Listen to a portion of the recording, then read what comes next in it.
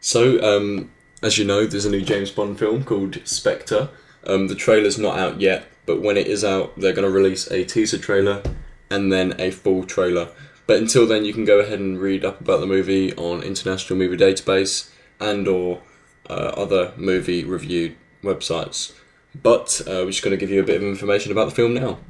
Spectre will be the title of the 24th official James Bond film. Its makers have announced. Director Sam Mendes revealed the title at a launch event at Pinewood Studios in Buckinghamshire, where principal photography is due to begin on Monday.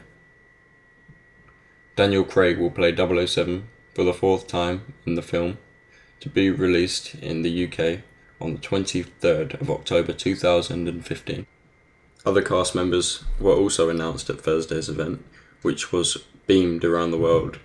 They include Sherlock Andrew Scott as a Whitehall based character called Denbigh, and Guardians of the Galaxy actor Dave Bautista playing a henchman called Mr. Hinx.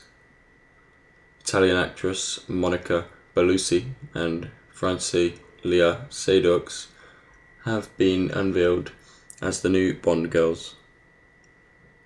Named Lucia Sciarra and Madeleine Swann, respectively.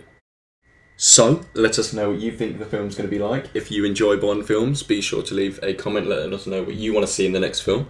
Um, and as always, this has been Mix Epic News. Thanks for watching.